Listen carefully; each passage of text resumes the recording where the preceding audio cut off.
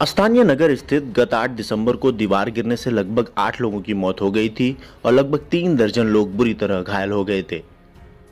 इस संबंध में नगर पंचायत के लिपिक राकेश पांडे की तहरीर पर दो लोगों, तसव्वुर अली और गयासुद्दीन पर गैर इरादतन हत्या का मुकदमा दर्ज कर जेल भेज दिया गया था।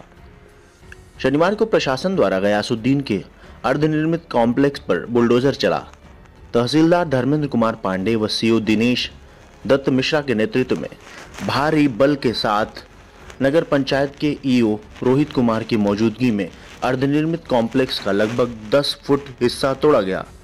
प्रशासन द्वारा बताया गया है कि तोड़ा गया हिस्सा भवन स्वामी द्वारा अपने नंबर से बढ़ा के बनाया गया था।